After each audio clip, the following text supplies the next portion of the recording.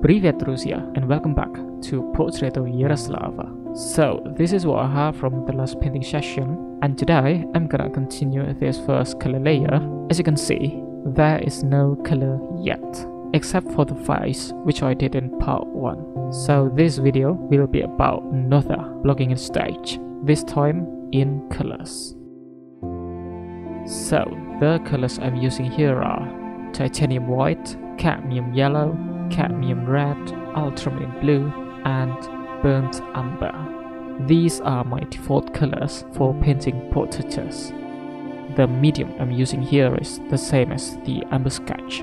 I'm using white spirit from Winsor & Newton with a touch of Liquin so the paint dries quicker. This is the Liquin, so let me mix the colors first. Okay, so this is what I end up with. So let's start the painting right away. Right, so I'm gonna follow with the fat lint rule here. If you don't know what it is, don't worry, it's not as hard as it sounds. It's just basically, if you're working with layers, you need to increase the amount of oil with every successful layer you've made. So since this is my first color layer, I just add a tiny bit of oil.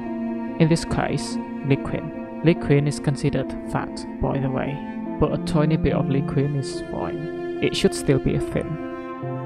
I mix it with my mineral spirit in this small spoon.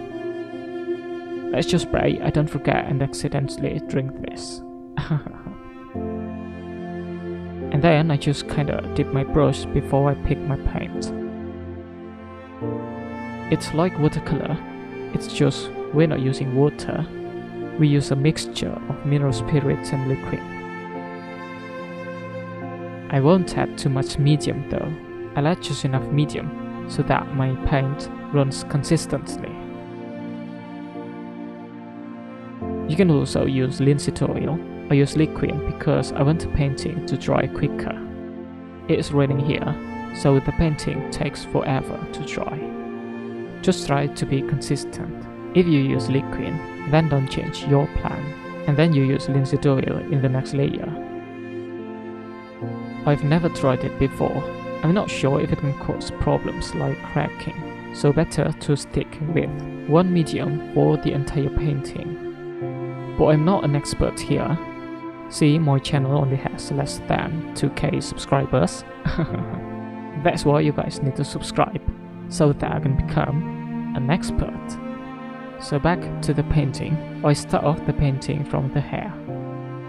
And in this painting, I work from dark to light. This is very common. So I want the dark to sit behind the light. I don't use black paint. I use a mixture of burnt umber and ultramarine blue. Okay, and then I work towards the middle value there. It's mostly burnt umber with a bit of red and a touch of titanium white. And finally my light value. And for those thin hair strands, I use 00 small brush. You can also check out my previous video where I talk about painting hair in real time. There is no highlight or deep shadow yet. That's for the next stage. The paint is very thin, and the edges are all soft. I blend all of the edges Okay, so that's the hair, and now the background. As for the background, I want it to be creamy, with some blue in it. I'm just doing it roughly, sketching the placement of its color. So right now, there is nothing there, except for my brown layer, called Imprimatura. I just want to put something, some colors. Basically, at this stage, I feel like kind of stating my intention. What do I want this painting to look like? What is my goal? The plan. That's very important guys. Don't start any painting if you don't have any plan in mind.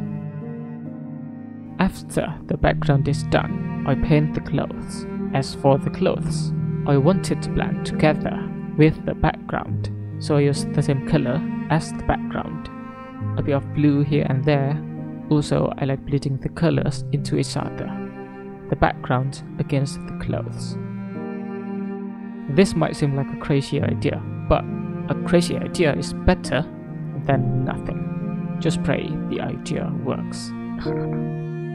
also, this isn't the final painting. This is just the first color layer, the color sketch. Yes, I know it looks bad and messy. Everything is transparent, no solid colors, but this will be my crucial foundation before I move on to the next layer where I will be meticulously painting those details and turn this into photorealism.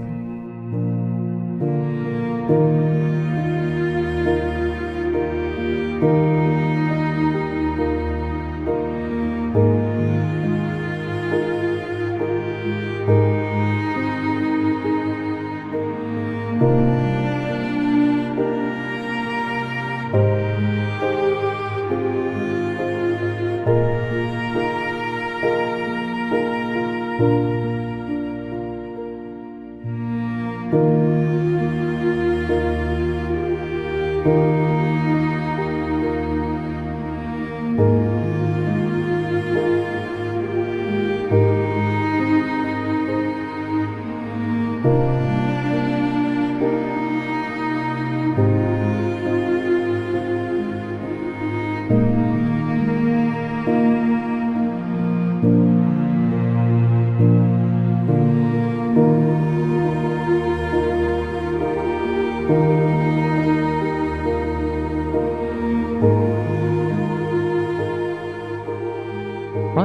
so this is my first color layer completed, so you can clearly see my intention here. This area would be painterly, the background is creamy with blue jolting out behind her. Of course, the dark, as you can see right here, still looks transparent. You can clearly see my underpainting underneath it. The background isn't as solid as I want it to be, but I think it looks great so far. What do you guys think? Don't forget to leave some comments down below. Press the like and subscribe button and see you guys in the next video. That's good over.